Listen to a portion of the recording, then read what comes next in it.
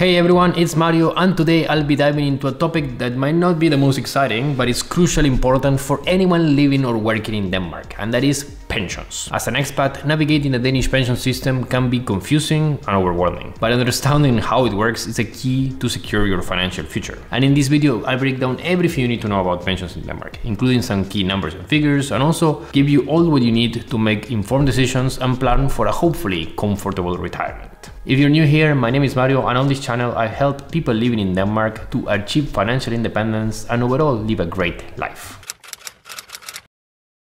The three pillars of Danish pensions. The Danish pension system is built on three main pillars. There is a state pension, there is an occupational pension, and there are private pensions. The state pension is also known as a folkepension, and it's a basic pension that the government will provide to anyone who is a Danish resident, so long as you fulfill certain criteria, which I'll explain in a minute. On top of that, you can get an occupational pension, which will be arranged via your employer, and it's a key part for most Danish employment contracts. On top of that, you have private pensions, which are voluntary and allow people people like you or me or whoever wants to save additional money for retirement going through your bank or a private pension company. Understanding how these three things interplay with each other is a key thing to get the most of the Danish pension system and that's what we're going to be looking next.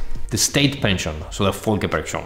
The state pension is a universal pension that ensures a basic level of income to all people that are retired in Denmark. As of 2023, the pension was 6,853 Danish krona, so that's a bit less than a thousand euro per month for a single pensioner. And it would be 5,140, again 2023, so that's 700 euro-ish per month for a member of a married couple or a cohabiting couple. To be eligible for this full tax pension, you must have been living in Denmark for at least 40 years between the ages of 15 and 65. And if you have not lived in Denmark for those 40 years, you might still be eligible to a partial pension based on how long you have been living. So for example, it will be reduced by 1 40th of the amount of time you have not living, living in Denmark. So if you have only been in Denmark for 20 years, you might be getting half of the pension. The state pension is again funded through taxes and is adjusted annually based on wage developments. This pension is hard to live from, in Denmark especially, unless you have something else on top. Either you have to save through your life or you go in through the other pension schemes I explain now.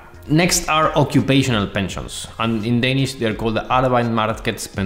These occupational pensions are a key feature of the Danish system and are typically arranged with collective agreements between employers, meaning the companies that employ people, and the unions that represent the employees. Under these agreements, the way it works normally is that you will be paying part of your salary towards a pension fund and the company would be matching that or putting something on top of that to the pension fund. So you basically have your contribution and the company's contribution. And this can be quite wide from 5% to sometimes 20% or more. Again, will depend from company to company. I can explain, for instance, in my own personal case, I work for Maersk and I put 5% of my salary that goes automatically to the pension and I can't negotiate that. I mean, that 5% goes to the pension and then Maersk would put another 11% on top of my salary that goes straight to the pension. But again, this goes different from company to company.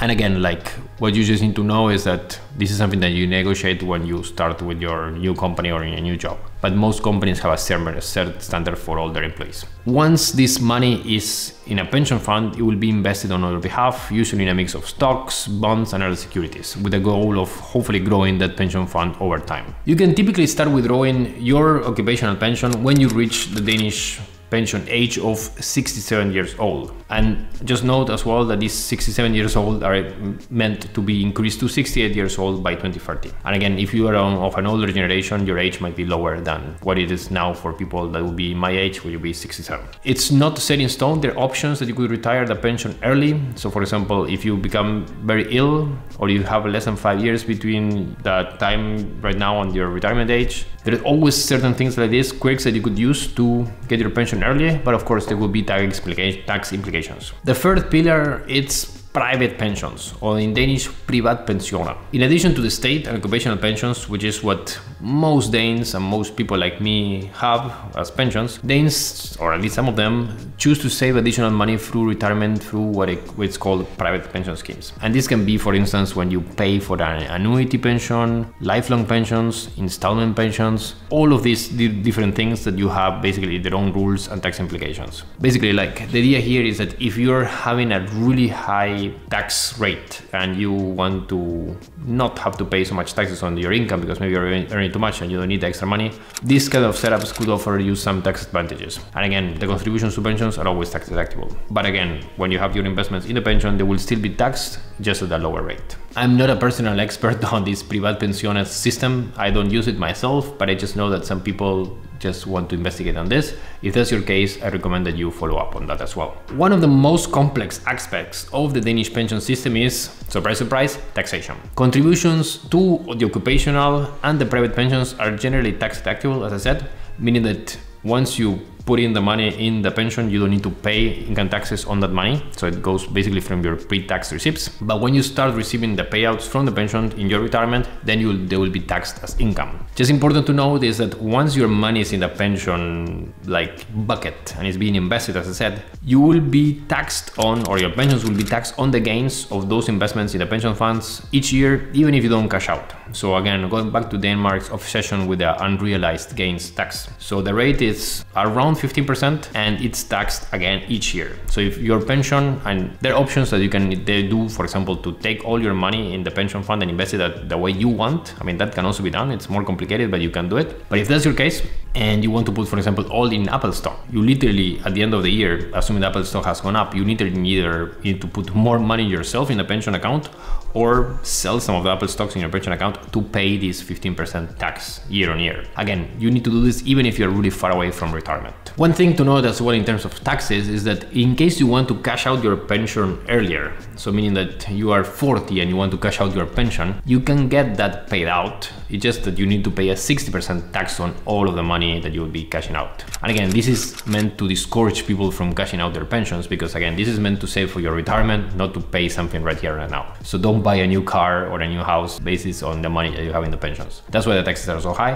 And that is not something that is Danish specific, but it's something you will see in almost any other country as well. Now, what if you leave Denmark? So if you're an expat who lives in Denmark and you decide to leave Denmark permanently before reaching out the retirement age, it's important to consider your options with your pensions in Denmark. So when it comes to the state pension, the one that we mentioned first, the first pillar, the folkepension, you may be able to be get some of those pension based on how many years have you resided in Denmark, and you can reply, you can apply to receive this pension even if you're living abroad, so long as again there's some eligibility eligibility requirements. Just be aware of that. That is an option. Again, if you have lived so much here and you have contributed so much, makes sense that you get paid out something.